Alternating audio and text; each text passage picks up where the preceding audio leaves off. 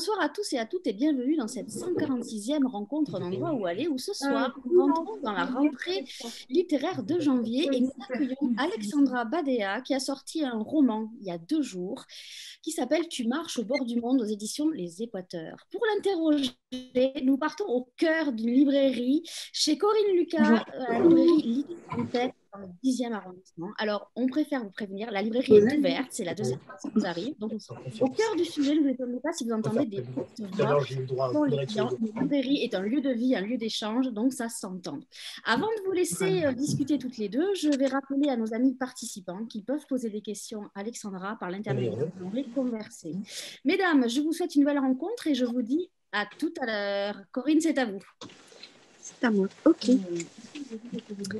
Donc c'est à moi, oui. Bonsoir, bonsoir à tous. Ben, déjà, je vous souhaite une excellente année et je suis ravie euh, ben, de, de, participer à cette émission et euh, de parler du livre d'Alexandra Badea, donc, qui a publié ben, il y a deux jours. Tu marches au bord du monde. Voilà. Bonjour, euh, bonjour Alexandra. Bonsoir, je suis là. voilà.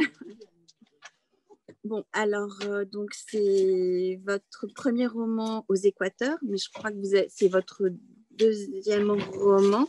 Vous avez déjà publié à l'Arche, mais on vous connaît surtout pour, euh, pour le théâtre. Euh, j'avais eu le plaisir d'ailleurs de voir des, une, des, adaptations de, de, à la trace il y a deux ans au théâtre de la colline. Et ben, je suis ravie de, parler avec vous de Tu marches au bord du monde. Euh, est-ce que vous pouvez vous présenter en quelques mots? Alors, donc, euh, vous êtes, euh, enfin, moi, je peux juste vous dire que vous êtes, vous venez de, de Roumanie.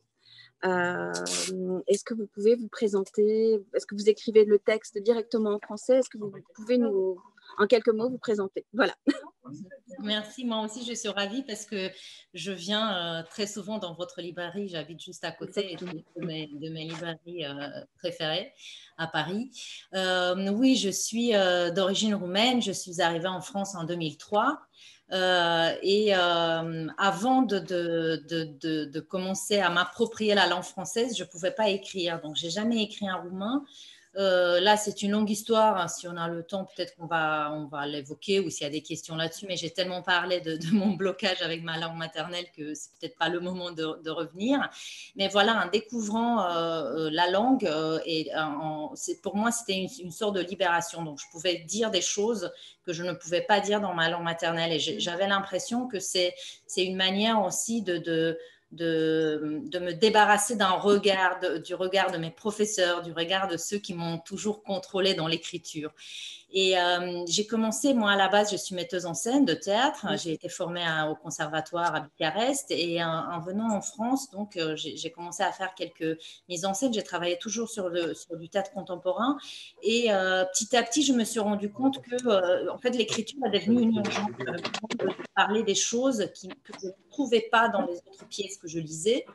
Et c'est comme ça que j'ai commencé à écrire. En 2007, euh, j'ai publié mon premier recueil aux éditions euh, mhm. L'Arche. Et euh, en tout, je pense qu'il y a sept ou huit livres qui ont été publiés chez eux. Un premier mhm. roman, Zone d'amour prioritaire, que, mon éditeur à l'époque, entre-temps la maison d'édition a changé de, direction, et il, avait envie de prendre le risque et de, de publier, de faire une petite mhm. collection roman. Euh, mais voilà, entre-temps, ils, se sont rendus compte que c'était très difficile pour un éditeur de théâtre de, euh, d'entrer sur, euh, sur ce, dans ce milieu-là. Et, et j'ai rencontré mon éditrice, Jeanne, dans des éditions de l'Équateur, au théâtre de la colline. Elle est venue voir plusieurs fois mes spectacles. Elle est, elle est venue voir à la trace et puis la trilogie que je je développe là-bas depuis quelques années, point de non-retour. Et euh, la dernière fois, quand elle est venue, elle m'a approchée, elle m'a dit euh, qu'elle aimerait me rencontrer. Et euh, en discutant avec elle, je lui ai, dit que j'étais en train de finir mon deuxième roman. Et voilà, elle m'a demandé de, le lire. Et, j'ai eu envie de, lui confier cette, histoire, vu son, engouement et sa fidélité par rapport à mon écriture. D'accord. Et justement, comment vous avez travaillé avec elle Enfin, parce que vous lui avez donné le manuscrit. Euh, est-ce qu'il y a eu un, retravail ou vous avez le publié, le texte a été publié tel quel? Euh, comme, comme, avec tout éditeur, il y a eu un travail, euh, après, mais ce n'était pas un, travail qui a changé énormément euh, la matière. Ce qui était assez euh, singulier, et ça je ne l'avais pas, euh, je l'avais pas travaillé avant avec mes, mes autres éditeurs, on faisait des lectures à haute voix. J'allais dans son ah bureau et c'était assez intéressant de traverser cette matière parce que pour moi c'est très différent. L'écriture d'un roman n'a rien à voir avec l'écriture théâtrale, même si je pense que cette, cette, cette recherche de l'oralité, de la musicalité d'une langue qu'on a au théâtre, ça se, ça, se, ça se voit, ça se sent d'après les retours dans, dans, l'écriture de mes romans, mais j'envisage les choses complètement différemment. Mais c'était assez intéressant de passer par la voix avec elle. Euh, c'était ça le, le, travail. Je, je, de rendez-vous, je lisais un chapitre et parfois elle m'arrêtait, elle disait là il y a quelque chose peut-être qui n'est pas très clair. Donc voilà, il y a eu des, euh, j'ai développé aussi certaines choses euh, qui, pour moi, par exemple, la première partie, euh, parce que si on, pour, pour, ceux qui ne connaissent pas, je pense qu'il y a beaucoup de gens qui n'ont pas encore eu le temps de le lire, mais c'est un peu, c'est une sorte d'odyssée, c'est c'est un voyage, un long voyage qui se, qui se fait sur plusieurs années, et donc c'est le récit d'une femme qui traverse un territoire. Oui, justement, est-ce que vous pouvez présenter, enfin, nous raconter un petit peu votre projet? Et c'est vrai que j'aimerais bien qu'on revienne après sur l'oralité, parce que ça, c'est quelque chose que j'ai senti à, la lecture, qu'il y avait une, euh, il y avait une oralité, enfin, dans, l'utilisation notamment des, du tu, euh, qui au début m'a un peu gênée, euh, parce que c'est au début, j'ai eu un peu de mal à rentrer et j'avais besoin de dire le texte. Donc, c'était intéressant ce que vous disiez sur l'oralité. Mais est-ce que vous pouvez justement présenter, euh, euh, enfin, nous présenter votre, projet, enfin, raconter en quelques mots euh, justement cette odyssée, cette odyssée de cette femme ouais. C'est l'histoire d'une femme qui part du lieu où elle a, où elle a grandi, où elle, où elle est née. C'est pas du tout, c'est un personnage de fiction, c'est pas du tout euh, autobiographique, c'est pas du tout de l'autofiction. Donc c'est vraiment, on est dans un récit. Euh, c'est une femme qui est très différente de, ce que je peux être. Euh, et, par, la, par la force et par, par un hasard, elle, tombe sur une annonce et elle, elle, elle demande une bourse d'études et elle arrive en France pour faire un master d'études économiques et elle espère quelque part trouver une sorte de société parfaite, de, d'échappatoire aussi. Elle se, elle se confronte à un premier, un premier sentiment d'échec, de rejet.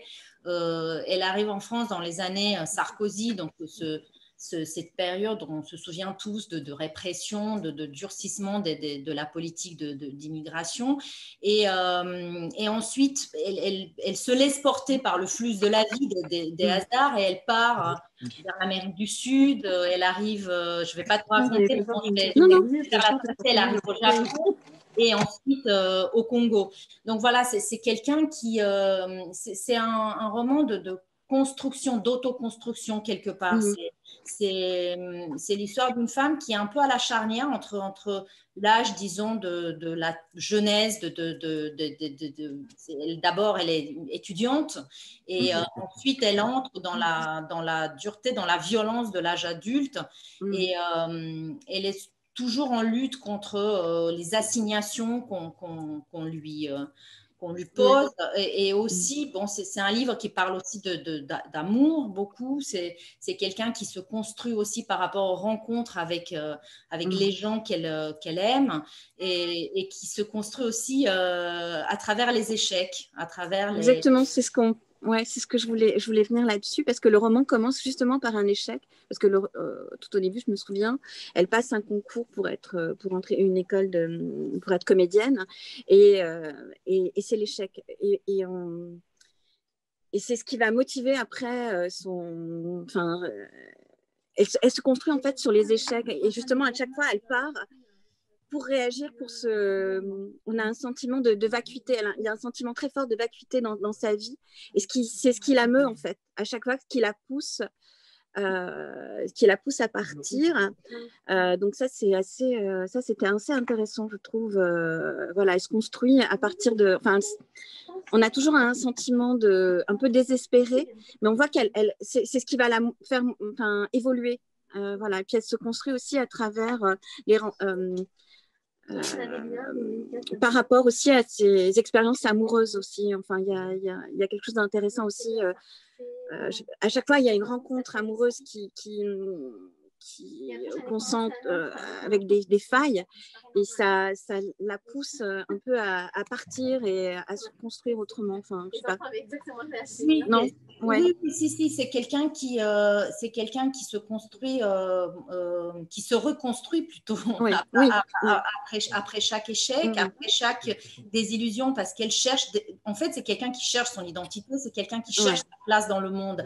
Le sentiment de vacuité, le sentiment de vide qui, qui l'accompagne à chaque fois, c'est un sentiment qui vient du, fait qu'elle trouve pas, qu'elle trouve pas l'action juste qu'elle a à faire sur, la, sur, sur le monde. C'est quelqu'un au départ qui, qui veut s'oublier et s'inventer d'autres vies en jouant, en jouant sur des plateaux de théâtre. Mmh. Et elle n'arrive pas à faire ça. Et petit à petit, elle se rend compte que cette obsession qu'elle avait pour le théâtre vient d'une un, envie de fuite de, de, et de, de, de, de, peur aussi de voir qui elle est vraiment.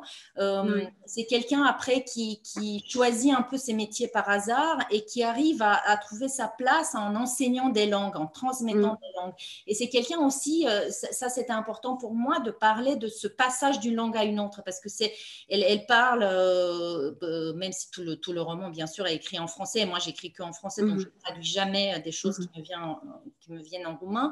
Mais au départ, elle parle en roumain dans sa tête mm -hmm. et avec oui. les gens, et elle passe au français elle arrive à maîtriser cette langue, elle arrive en Amérique du Sud, elle, elle passe à une autre langue et elle entre dans la musicalité d'une autre langue. Et ce sont les langues aussi qui la construisent. Oui. Quelque part, c'est ça le point de, en commun avec moi, parce que moi, j'ai l'impression que je suis quelqu'un d'autre en français que dans ma langue maternelle. Dans la manière dont mon corps se tient, c'est différent. Dans la manière dont la pensée oui. se structure, la manière dont. Et puis, c'est aussi quelque chose un peu, disons, sentimental, où elle dit Je pourrais jamais aimer deux personnes dans la même langue. Euh, il faudra changer de langue pour pouvoir aimer, ouais. euh, pour pouvoir aimer autrement et pour pouvoir aimer de, de, dans ce quête d'absolu qu'elle a. Euh, et donc, quelque part, sa place dans le monde, c'est de transmettre des langues et d'enseigner, de, de, transmettre. Pour moi, ça, c'est quelque chose de, peut-être un des plus beaux métiers du monde de, de transmettre. Oui, non, a, on sent bien cette importance de la langue et le fait, euh, ben oui, parce que elle a appris le français et donc après elle peut traduire. Euh, elle travaille pour la police, je crois, enfin, ou pour, dans, pour un tribunal. Enfin, oui à un moment donné, elle fait des traductions, ouais. euh, elle fait des traductions au tribunal administratif pour tous voilà, les gens qui ne parlent pas français et qui ont besoin voilà. d'assistance. Des faits divers. Et ces petites rencontres qu'elle fait d'une mmh. manière ou d'une autre, en dehors de ces histoires d'amour, c'est tous ces petites rencontres avec des gens dans, dans ces petits boulots, dans, dans, ouais. dans, dans, la vie quotidienne, dans les avions, dans les, dans les mmh. hôtels de passage, dans, dans, au, au, au Mexique, elle se, elle se, retrouve dans une sorte d'appartement comme ça communautaire avec plein de gens qui viennent de partout. Et c'est ce, cet effet miroir quelque part qui la guérit aussi. C'est mmh. en regardant comment d'autres personnes ont été abîmées plus qu'elle par la vie et par, par, la violence du monde que elle se rend compte qu'elle peut trouver une capacité de résilience en elle et une capacité mmh. de réinvention. Et euh, ce qui, pourquoi quelque part j'ai eu envie d'aller vers ce sujet parce que euh, moi, pendant longtemps, je, je, me, je, me, trouvais mais vraiment assignée à une identité par, par les gens autour.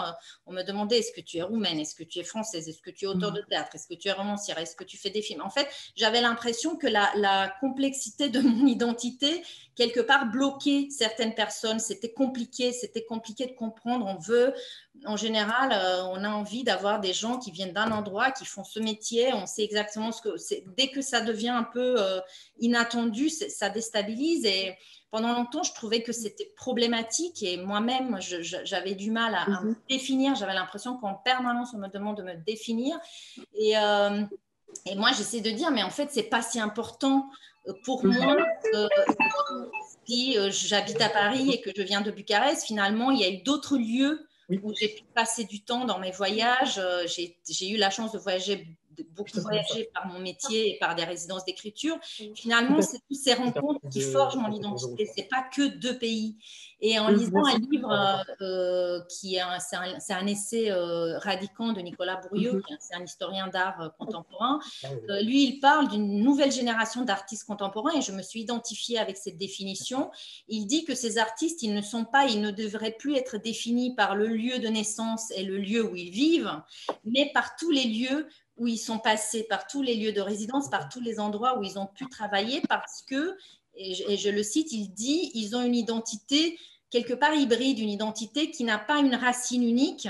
C'est mhm. l'identité de, du lierre, de la plante qui a plusieurs, euh, plusieurs racines et qui prend racine aussi parce qu'elle avance sur des bâtiments ou qu'elle elle avance sur, sur la terre. Et j'ai bien aimé cette, cette, définition des, des, racines multiples. Et quelque part, le projet de ce roman aussi, c'était de rencontrer, de partir un peu à la rencontre des gens qui ont ce type de parcours et de, de raconter aussi euh, cette aventure migratoire autrement que par euh, mm. un exil forcé, parce que elle, c'est finalement, c'est quelque part, c'est un exil intérieur c'est quelque mm. chose, personne ne l'oblige de partir, hein. mm. personne ne, la chasse d'un endroit, c'est juste euh, la désillusion, le, le, la violence des expériences qu'elle peut vivre, parce qu'elle vit mm. des expériences violentes, mais à chaque fois, elle en ressort, à mon avis, grandie et, et, euh, D'accord. Et justement, est-ce que c'est un rapport avec le titre que vous venez de dire euh, Tu marches au bord du monde. Est-ce que justement, le, titre, c'est. Oui. C'est pas ça, justement, le, le, sens du titre. Enfin, il marche au bord du monde. Enfin, le, ce phénomène comme ça. Euh, oui, oui, oui, c'est quelqu'un qui ne peut pas s'arrêter, c'est quelqu'un qui passe à chaque fois euh, un an, deux ans, trois ans, c'est quelqu'un qui se rend compte vers la fin du, du roman que euh, son identité, c'est aussi ça, c'est aussi mm. Euh, euh, ce, retour au nomadisme, quelque part, même si c'est un nomadisme contemporain, mais, mais elle ne veut pas s'arrêter, elle ne veut pas s'ancrer. Et, elle comprend à la fin, elle comprend qu'elle ne veut pas s'arrêter, pas parce qu'elle a peur, comme au début de son, de son aventure, mais elle ne veut pas s'arrêter parce qu'il y a toujours des choses à, trouver ailleurs et il y a toujours des rencontres qui vont la questionner ailleurs et qu'on ne peut pas se contenter d'une seule et unique expérience.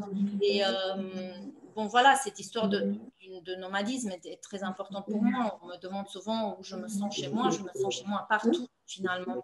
Il n'y a, a, pas. Euh, oui, j'ai un appartement à Paris, mais je peux me sentir très bien du monde.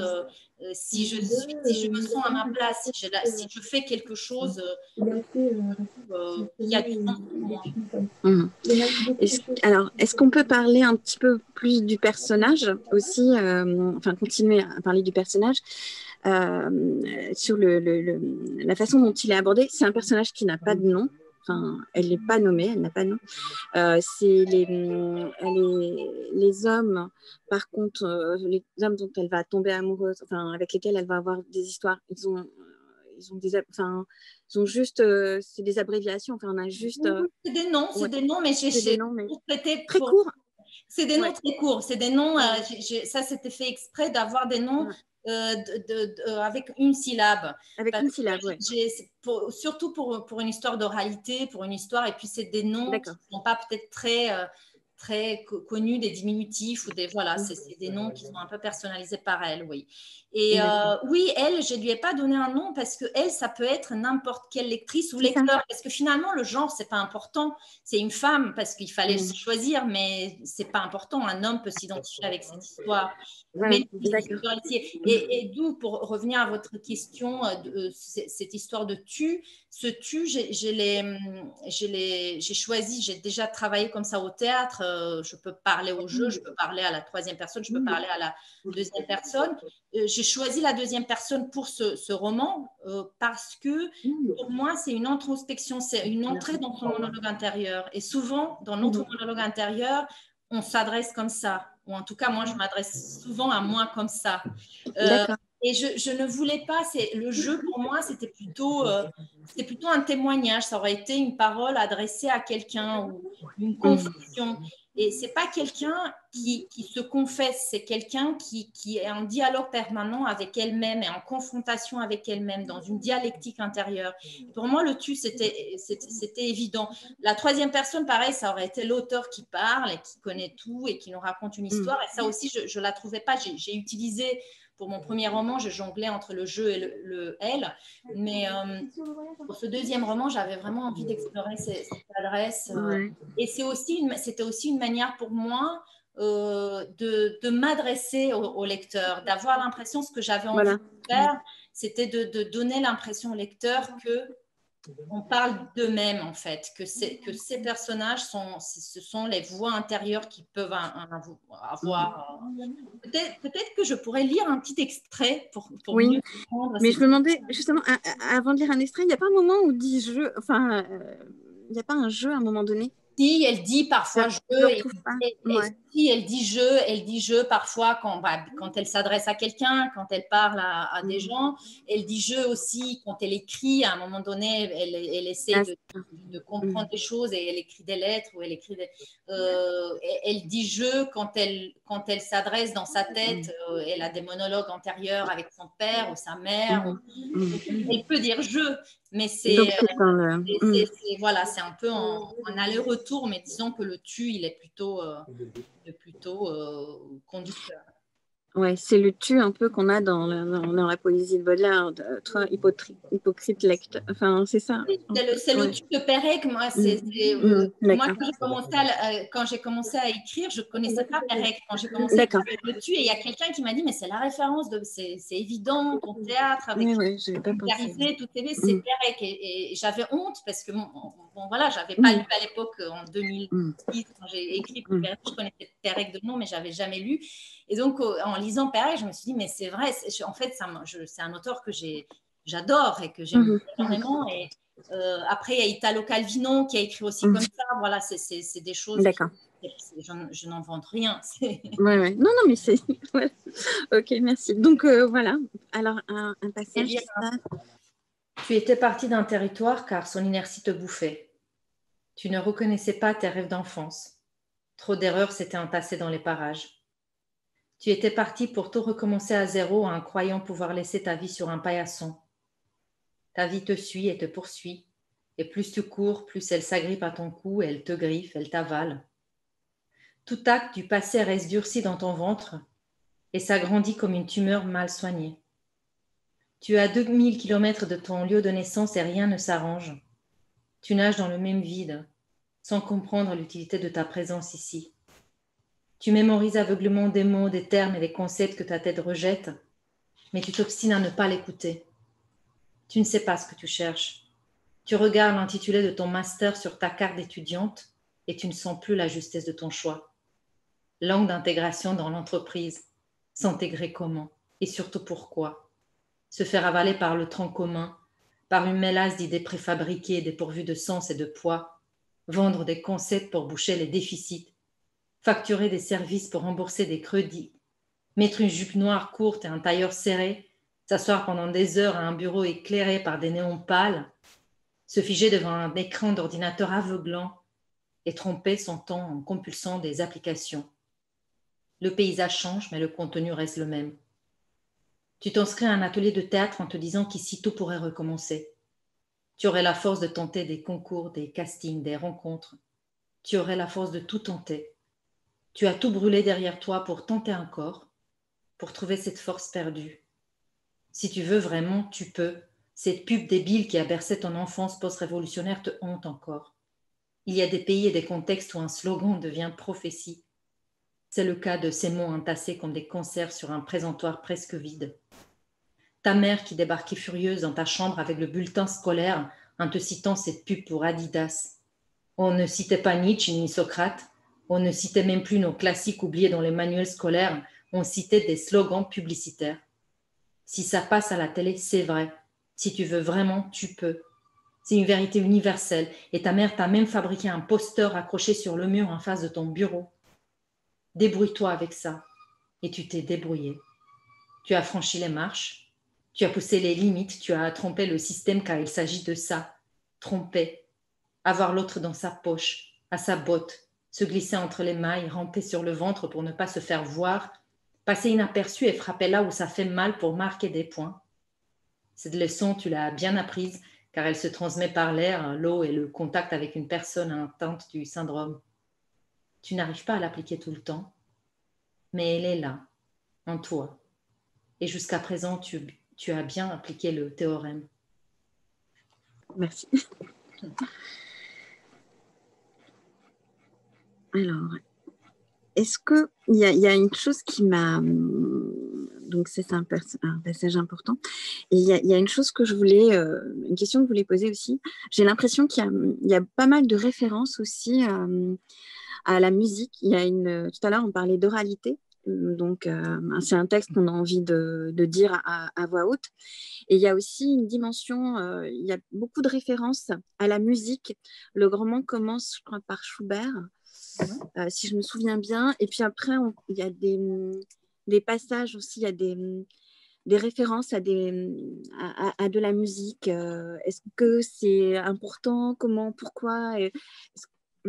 Oui, c'était parce que, oui, je pense que la musique était importante pour, pour, pour le personnage. Euh, et euh, j'avais envie, c'est comme on est dans sa tête, on est aussi dans, son, dans ses écouteurs, mmh. dans, dans l'alarme de, de, son téléphone. Par exemple, le début du roman, quand on parle du Schubert, c'est parce que et là, cette sonnerie sur son téléphone, c'est son réveil. Mm. Elle essaie mmh. oui. son réveil avec la musique classique, mais ça ne marche pas forcément. Mmh. Et après, c'était aussi une manière pour moi de, de caractériser les différentes époques qu'elle traverse. Parce que, au départ, quand elle est étudiante, euh, elle écoute Radiohead, qui, qui est un voilà, que, que mmh. moi j'écoutais beaucoup quand j'étais au lycée. Donc voilà, c'est un peu ces, périodes des années 90, 2000. Euh, Ensuite, euh, elle commence à, quand elle, est, euh, euh quand elle arrive au Mexique, elle, elle fait découvrir à quelqu'un euh, une, une, troupe, Beyrouth, qui est une troupe française, qui était mm -hmm. il y a il y a dix ans, bon, qu'on écoute toujours. Mais... Et, et, mhm. donc, en fait, chaque période, elle est, elle est marquée pour elle par une chanson ou par une playlist, disons. Donc, c'était oui, voilà. pour moi d'entrer de, de, un peu, de faire entrer les lecteurs dans, dans, dans la playlist. Dans un univers. personnage et de la faire. Et aussi, c'était aussi une manière de, parfois de, de d'avoir une ironie parce que euh, la chanson dit quelque chose, mais qui est complètement en contrepoint de son mmh. état intérieur, émotionnel. Mmh. Mais la musique aussi, ça l'apporte et ça lui donne une, une, euh, une force de, de, de, de, relativiser et de, de, de, rendre plus léger son, son, quotidien et ses épreuves. Mmh. D'accord. Ok. Et euh, comment. Ah oui, mais je ne voudrais pas déflorer la fin. Euh, mais le dernier homme qu'elle rencontre, euh, on a l'impression que ça va être le, entre guillemets le bon. Enfin voilà, parce que là, on sent dans les dans les autres rencontres, on sentait que dès le début qu'il y avait quelque chose qui allait, qui allait pas bien, enfin que ça allait pas, ça allait pas aller c'était pas ça quoi. Parce que le, le, premier son premier amoureux je me souviens euh, il lui il la demande en mariage parce qu'elle sort d'un échec. Enfin déjà on se dit c'est bon ça va voilà. Euh, et, et, après elle fait différentes rencontres mais on sent qu'il y, a quelque chose enfin qui, qui, qui, va que ça va pas aller. Et euh, pour le dernier ça y est j'ai perdu son nom celui qui, qui travaille à l'ambassade là qui, qui l'emmène au Japon et, là où vraiment on a l'impression qu'elle va trouver une certaine sérénité à un moment donné on, on, euh, elle est dans un temple et on se dit qu'elle qu trouve euh, une, sorte, une forme d'apaisement. Et, euh, et, lui, il pourrait lui apporter une certaine forme de bonheur, mais en même temps, c'est un bonheur un peu biaisé. Et elle choisit, ben non, la, la liberté, enfin une certaine forme de liberté et de voilà comment est-ce que hmm. Euh, bah, pour moi, c'est pas ouais. forcément qu'elle qu ne sera pas avec cet homme, c'est ouvert. C'est ouvert? Ah oui, c'est ouvert. Pour moi, c'est ouvert. Pour moi, c'est ouvert. Elle dit d'ailleurs, si, si, je, si je me trompe pas, elle dit euh, après on verra ou quelque chose comme ça. C'est oui.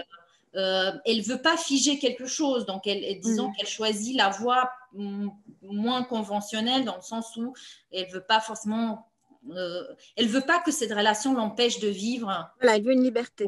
Et, et, que, et quand je dis autre chose, c'est une expérience personnelle, c'est pas du tout d'autres relations. D'accord. Elle, elle, elle, arrive dans, elle arrive dans cet endroit, elle arrive à Kinshasa. Euh, mm. et euh, elle est invitée par une amie qui, qui a ouvert une école pour, pour s'occuper, une sorte de foyer pour, pour s'occuper des enfants dits sorciers, des, des mmh. enfants soldats qui ont été voilà, mmh. Traumatisés pendant, pendant les années de, de, guerre civile et donc dont personne ne s'occupe. Donc, du coup, il y a un collectif de femmes, et pour moi, c'était aussi important de parler de la sororité, de parler de, de. Elle se construit beaucoup avec les femmes aussi. Elle se mhm. construit beaucoup par, euh, dans, des relations d'amitié, dans des relations de, de, de, oui, de, d'amitié, de, de, de, rencontres avec des femmes qui ont fait des choses exceptionnelles. Et euh, dans, à une échelle peut-être petite, mais qui ont, qui ont cette mhm. capacité de changer des, sociétés autour. Et, des, mhm. et, et, donc, euh, elle se retrouve avec ce collectif de femmes. Et elle se rend compte que sa présence est importante à cet endroit. Elle était partie normalement pour, pour un été, pour quelques, semaines, pour donner un coup de main. Et euh, je ne vais pas te raconter, mais en étant là, elle, se rend compte qu'elle est au bon endroit et qu'elle donne quelque chose qu'on lui a donné, qu'elle transmet une langue, qu'elle transmet une certaine manière d'apprentissage qu'elle a aussi acquis par ailleurs et que mm. c'est ça l'endroit euh, juste à ce moment-là. Donc, en fait, elle développe une, capacité d'être présent et d'être euh, et de, ne pas vouloir euh, vivre d'après un, d'après quelque chose qui a été entériné bien avant mm. et qu'on a décidé, donc on va le faire parce qu'on a décidé ça à ce moment-là. Donc elle est dans une sorte, elle arrive à être dans une sorte de, d'interrogation permanente de ce qu'elle a vraiment envie de faire et ce qui fait sens de faire à ce moment-là. Et donc, elle va pas quitter ce projet pour retrouver un homme, ça n'a pas de sens. Et mmh, moi, mmh. pas, je ne mmh. voulais pas du tout montrer un personnage féminin qui s'abandonne et qui, euh, bon, qui s'oublie et qui va retourner retrouver euh, son amour. Euh, finalement, l'amour ne l'empêche plus de faire ce qu'elle a besoin de faire dans ce monde. C'est ça. Et elle se rend compte aussi que finalement, à chaque fois, on a l'impression que c'est l'échec amoureux aussi qui la fait partie, mais en fait, c'est pas ça. C'est juste qu'elle, euh, bien sûr que la responsabilité, elle était des deux côtés. C'est juste qu'elle non plus, elle n'était pas à l'endroit, à, l'endroit juste de son existence, à l'endroit juste de, de son, de son, de ses désirs. Elle savait pas qui elle était vraiment et ce, ce dont elle avait besoin. Et euh, là, à la fin, c'est ça qui est, c'est ça qui est, qu'elle arrive à toucher. Et pour moi, c'est vraiment peut-être le, c'est peut-être le, le, le, la destination de toute vie, de se mhm. dire que on est à l'endroit de nos désirs et de nos besoins et que mhm. et, à, et, à, la place juste dans, dans, dans la constellation euh, dans laquelle on se retrouve. En tout cas, c'est pas fermé. C'est un roman. Non, non, non, voilà. pour moi, c'est pas du tout fermé. Bien sûr que mm. l'action, à un moment donné, ça doit s'arrêter parce qu'il y a une étape. Pour moi, il y a une boucle qui est qui se, qui se referme. Il y a, il y a, elle a franchi quelque chose. Après, ce qui va se passer, euh, les lecteurs vont continuer. Mais pour moi, c'était pas quelque chose, c'était pas une mm. séparation. Pour moi, c'était juste une, oui, c'est une séparation des corps, c'est une distance, mais qu'est-ce que, ça, mm. qu'est-ce que ça veut dire aujourd'hui, la séparation des corps? On est séparés, en fait, on est... Oui. Voilà, aujourd'hui, on le vit, le roman, il a été écrit bien avant, mais euh, aujourd'hui, on le vit, on se rend compte que euh, euh, on peut s'aimer aussi. je ne dis pas que c'est l'idéal, mais on peut s'aimer aussi et, vivre dans deux pays différents. On peut, on peut, on n'est plus obligé, je pense, de, choisir entre, disons, un amour, une histoire d'amour et que peut-être c'est prétentieux à dire, mais j'ai pas un autre mot, et une mission de oui, vie. Oui, non, mais elle, elle se révèle comme ça, parce qu'on a l'impression vraiment tout au début du roman que si elle reste en Roumanie, elle s'enferme. Enfin, tout, ce qui, tous les, euh, le, si, si, elle ne s'enfuit pas, on a l'impression que c'est fermé. Elle va avoir une vie euh, comme, comme celle de ses parents, quoi. Enfin, et ça, c'est, enfin, apparemment, c'est assez terrifiant. Enfin, dans la façon dont c'est raconté. C'est son regard, c'est son regard. Elle, pareil, quand elle arrive en France, elle a l'impression à un moment donné qu'elle s'enferme, parce que l'administration l'enferme dans un truc. Et parce que aussi ses rêves sont assez euh, limités, ses possibilités sont limitées. Finalement, euh, au Mexique, pareil, si elle reste au Mexique, elle s'enferme dans un mode de, euh, dans, dans, dans, la violence d'une société qui, qui, qui l'opprime, qui le, euh, dans une forme. Et puis l'endroit dont je parle au Mexique, j'ai été avec une amie, donc je, c'est des choses, euh, bien sûr que c'est la fiction, mais c'est la fiction qui a des appuis dans, le, mm. dans le, toutes ces images, on me les a racontées. Donc c'est, vraiment une région dans, en Michoacán, c'est une région d'ailleurs, euh, euh, il y a beaucoup de gens, des Mexicains qui me disaient, mais comment tu es allé à Michoacán? Personne ne va à Michoacán parce que c'est une... Bon, c'est Oui, c'est terrifiant. Mm. Et du coup, ce collectif existe dont je parle, ce collectif de théâtre qui fait du théâtre pour les, pour les, dans les écoles, dans les cours d'école, qui parle des sujets sociétaux dont personne ne parle, qui sont très fragiles sur ce territoire. Donc, ce collectif, je l'ai rencontré, ils existent. Après, l'histoire, non, les personnages, non. D'accord. mais, et puis, beaucoup, dit, beaucoup de choses sont, sont venues des récits et des mm j'ai été dans des écoles avec eux, je les ai accompagnés dans une tournée. Donc en fait, ouais. c'est pas un texte autobiographique, mais il y a quand même beaucoup de, de, de vous dans, dans, ce texte, en tout cas. Et non, il n'y a pas beaucoup de moi, il y a beaucoup de ce que ah. j'ai observé. D'accord. Euh, il y a beaucoup de ce que j'ai vu parce que euh, je ne peux pas écrire. Moi, pour moi, la documentation, elle est très importante. Vous le savez très bien parce que je viens chercher des livres et on peut définir pourquoi j'écris quand je commande des livres. Et je commande beaucoup d'essais, d'histoires. Et, euh, et, en fait, pour moi, c'est très important de passer par la documentation. Et après, en passant par la documentation, que ce soit physiquement, en, mhm. voyageant ou par des livres, il y a une question qui se dit. J'ai pas, ça, euh, bien, euh, par exemple, le groupe d'acteurs, c'est un groupe qui existe, mais ce ne sont pas eux. C'est des mhm. personnages, mais qui vivent ces situations-là. Donc, c'est inspiré de leur, de, leur, de leur action, disons, de leur, de leur, oui, de leur action. De, Après, oui, mais il y a des choses qui sont attirées de, de l'expérience. Par exemple, quand euh, je, ne sais plus, je crois que c'est, je crois que c'est quand elle arrive au, au, Mexique, mais la même chose quand elle est au Japon. Il y a quelqu'un qui me dit mais vous vous êtes française, etc. Donc ça c'est quelque chose. Euh, je sais plus, il y a un personnage qui me dit vous, vous êtes française, vous parlez français. Euh, voilà, je pense que ça, c'est un truc qu'on a, que vous avez dû ressentir une fois, on a dû vous le dire. Oui, oui, oui, ça, ça, c'est des choses qui me. Qui me oui, voilà. Oui, bien sûr, il y a plein de choses, mais c'est pas fondamental. Bien sûr que je m'inspire énormément des gens que j'ai rencontrés ou même des situations, mais euh, la, la, la, réalité, elle est tellement différente. Et moi, j'ai jamais aimé, de, euh, je ne sais pas, je, je dis souvent, j'écris pas pour parler de moi non, non, mais... Je, suis avec moi. Euh, dans l'écriture, j'ai besoin d'aller ailleurs, j'ai besoin d'inventer des personnages, j'ai besoin de, mhm. de, de, je ne sais pas, quelque part d'avoir un contrôle. Mhm. dans ma vie, je ne peux pas avoir de contrôle sur ce qui m'arrive, mais dans la, dans la fiction, je peux avoir un contrôle. Je peux créer à partir du réel, à partir de la documentation, ce que j'aimerais Mm. ou, pas, parce que j'aimerais ça m'arrive. Non, mais comme au théâtre, euh, tout ça. Voilà, voilà, donc du coup, c'est mm. important pour moi, la fiction, c'est un, quelque part un, outil de. Je vais bien parce que j'écris de la fiction. Si j'écrivais mm. des récits autobiographiques, je pense que j'irais pas bien dans ma vie. Parce que je, mais quelque part, bien sûr que ces émotions, ces ressentis, tout ça, c'est nourri par, par ce que j'ai vécu. Mais euh, toutes ces histoires d'amour ne sont pas des histoires que j'ai vécues. Non, non, non, c'est pas ça, j'entendais. Mais voilà. Ok, c'est bon. Là. oui. Excusez-moi de vous couper, mais il va falloir qu'on passe aux questions. Je oui. sais pas si me voit, je, sais je crois que Corinne ne me voit pas, mais euh, voilà, je suis revenue parce qu'il y a des questions. Super. Je les passe à Alexa. Oui. On ne pourra pas rentrer dans le, dans le format. Je voudrais redire pour ceux qui nous ont rejoints en cours de route que Corinne est dans sa librairie. C'est pour ça qu'il y a des questions euh, annexes. Donc, euh, une librairie, c'est vivante. C'est pour ça que vous entendez parler. Donc, euh, voilà, parenthèse. Alexandra, alors justement, est Corinne, est-ce que vous pouvez montrer le livre, euh, vous l'avez devant vous, d'Alexandra Oui, oui, oui. Voilà. Donc, voilà. La photo est magnifique, le titre est superbe. Voilà. Il y a beaucoup de messages en ce sens en disant que le titre est sublime. Comment vous est-il mm. venu? C'est une phrase qui est dans le texte, je ne pourrais pas vous dire exactement où, mais il y a, peut-être qu'il y a des mots qui sont, peut-être que la phrase n'est pas comme ça, tu marches au bord du monde, peut-être qu'il y a d'autres mots à l'intérieur, je ne me souviens plus exactement, mais ça vient, ça vient du texte et, euh, en relisant, euh, pour moi, le titre, c'est vraiment très difficile. Je passe par plusieurs titres avant de trouver le, titre définitif. Rarement, j'ai le titre euh, dès le départ. Et, et, parfois, je sens le, la plupart du temps de, de, de revenir au, de revenir au texte, au corps du texte, pour, pour trouver le titre qui est le plus représentatif.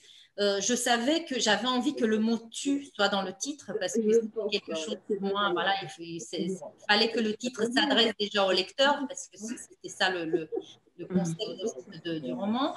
Et, euh, et c'est un personnage qui est toujours en marche, qui, qui, est toujours en mouvement, qui est toujours en transformation. Donc, cette histoire, cette, cette idée du mouvement, et de quelqu'un qui ne, qui ne, qui ne s'arrête plus, qui n'arrive pas à qui n'atteint plus une limite, qui est toujours en, en déplacement, et, euh, je, trouvais que ça représentait bien ce, que le personnage vit.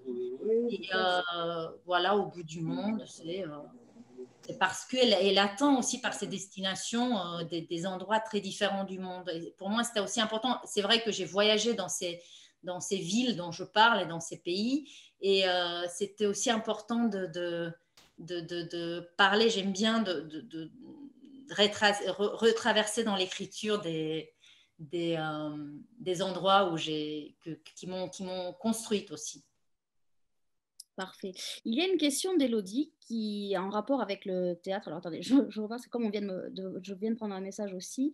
Comment aborde-t-on les dialogues dans un roman quand on fait du théâtre? Qu'y a-t-il à changer ou à savoir pour adapter le langage? Moi, je ne me pose pas la question d'une adaptation des dialogues parce que j'écris dans, mes pièces de théâtre, je, mélange les monologues avec des dialogues, donc je passe très facilement de, l'un à l'autre.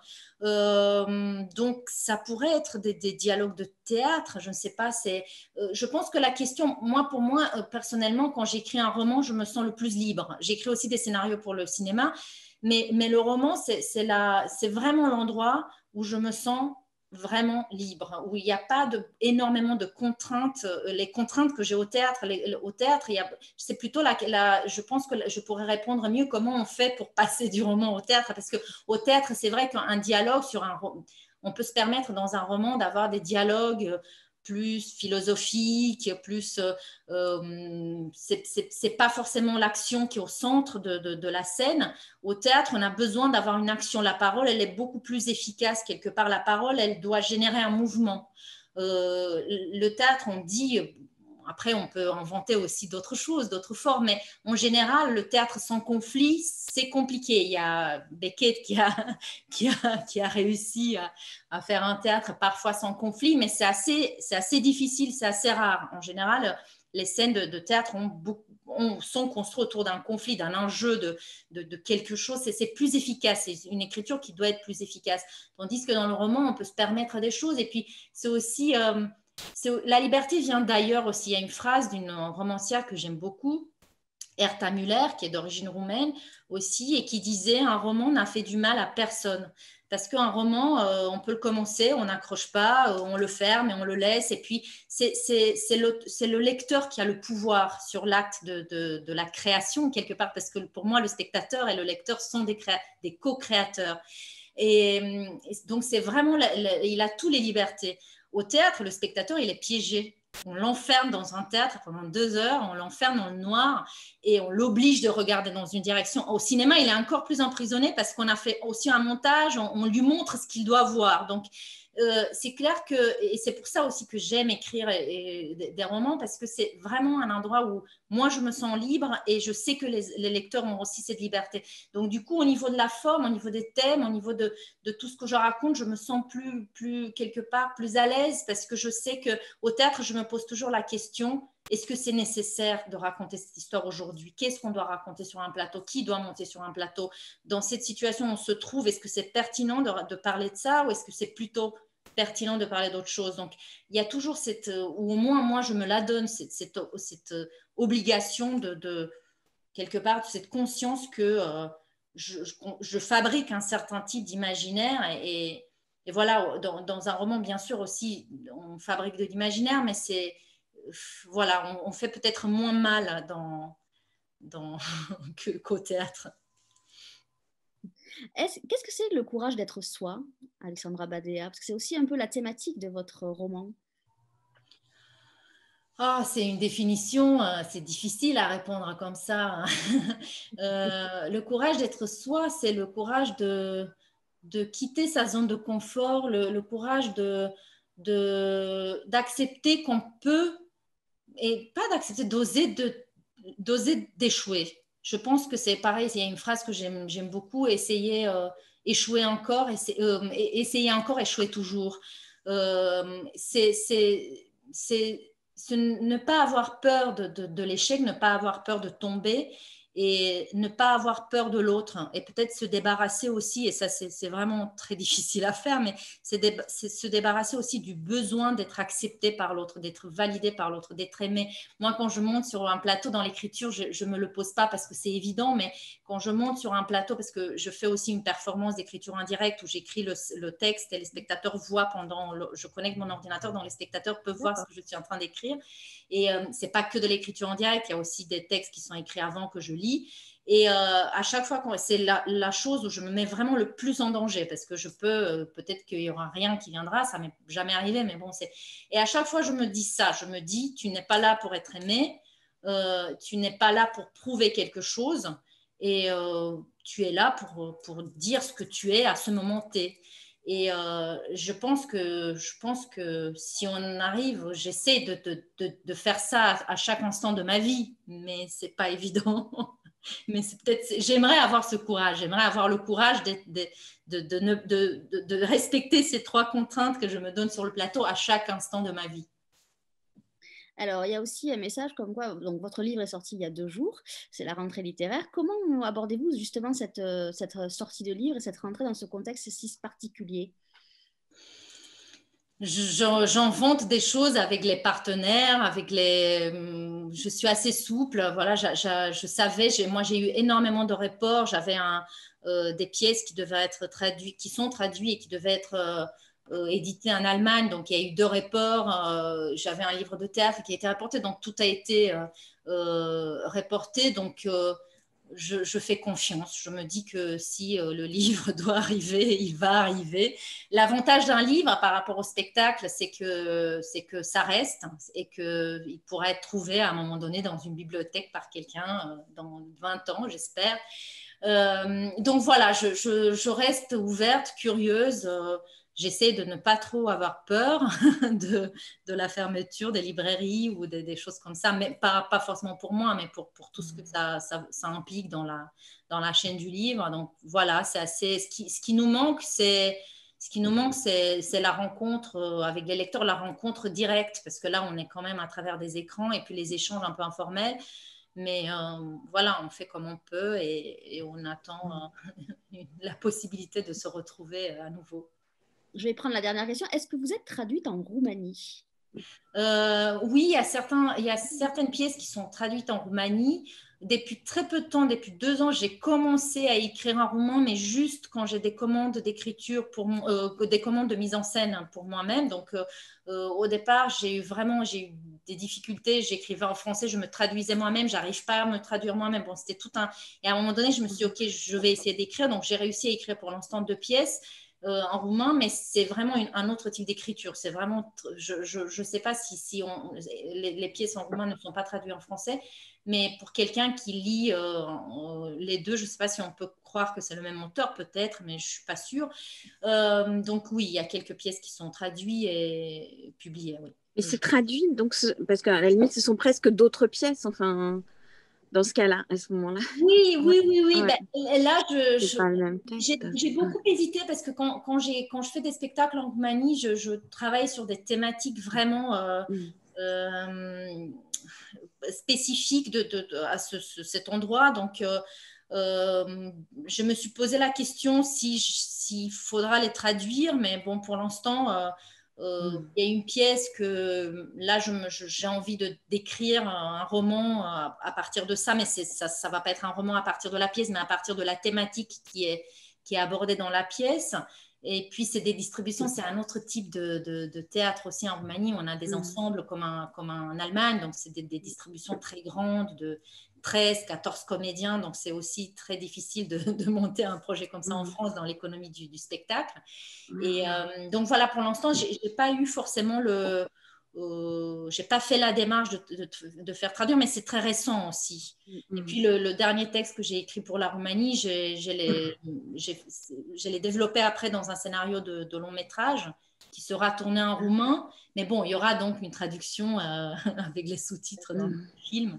Mais donc voilà, donc je me suis dit, est-ce que ça a du sens d'avoir aussi la pièce? Peut-être, mm. peut-être. Surtout la deuxième, c'est un sujet qui pourrait aussi, c'est sur les, sur les orphelinats, sur l'abandon, sur euh, euh, ça pourrait avoir du sens. Et c'est des thématiques qui se, qui peuvent être aussi mm. rencontrés en France. En tout cas, moi, je vais redire que tu marches au bord du monde paru aux éditions des Équateurs, qui est sur l'état des librairies depuis deux jours. Vous pouvez le trouver dans la librairie de Corinne Lucas, qui est actuellement dans sa librairie. Je voudrais juste dire qu'on s'excuse encore une fois pour le prix, le bruit de fond qu'il y a eu, mais les libraires vivent tellement de moments intenses en ce moment, des décalages d'horaire, oh, que là, Corinne nous a fait l'honneur de vraiment d'animer la rencontre dans son magasin, magasin ouvert. Donc, on s'excuse encore mille fois pour le bruit. C'est pour ça que j'ai coupé à la fin votre micro, Corinne, d'ailleurs. Donc, vous pouvez aller voir Corinne, puisqu'elle a les livres d'Alexandra Badea euh, dans son magasin. Vous pouvez aussi aller dans toutes les librairies de France, votre librairie de quartier. Vous pouvez aussi acheter le livre ce soir si vous avez envie, comme ça va être bientôt le couvre-feu, sur notre site internet unendroitoualler.com. Vous allez sur la page Alexandra Badea et vous avez un lien qui redirigera vers une librairie indépendante de votre choix. Euh, je vais remercier encore une fois donc Corinne pour cette belle animation. Avant de donner le mot de la fin à Alexandra, je vais dire qu'on se retrouvera euh, lundi avec Vanessa Arcos pour un second livre, parce que nous l'avons déjà reçu dans les rencontres, au tout début des rencontres en endroit où aller, pour un livre qui s'appelle Une chance sur 666, paru aux éditions Terre en Ciel. Donc, je rappelle que la, la librairie de Corinne, c'est rue Alexandre Parodi à Paris dans le 10e. Voilà, je n'ai rien oublié. Merci beaucoup.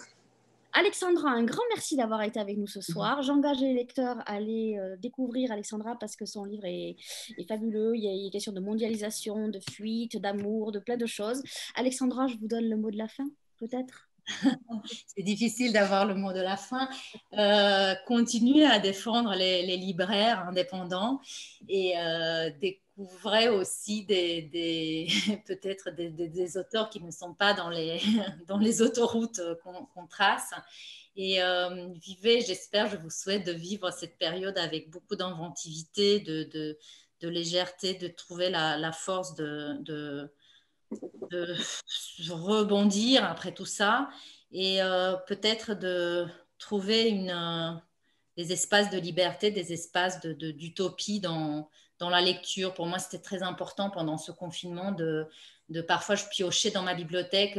Dans la première partie du confinement, j'arrivais pas à lire, j'arrivais pas à entrer dans une autre fiction, mais je piochais chaque jour dans ma bibliothèque à, au hasard un, titre, un roman ou un, livre de poème ou un essai. je l'ouvrais comme ça au hasard. Et il y avait des petits messages qui, qui, qui arrivaient. Donc euh, voilà, je pense que c'est un, un moment où le livre peut nous accompagner, il peut nous, nous donner quelque part que, quelque chose qu'on a, qu'on a perdu en attendant que des jours euh, plus sereins euh, arrivent à nouveau. Merci, beaucoup pour cette belle Merci. Mesdames, je vous souhaite une belle soirée, un bon week-end et euh, un bon week-end aussi à nos amis lecteurs qui nous écoutent et rendez-vous lundi à 19h. Merci, beaucoup, mesdames.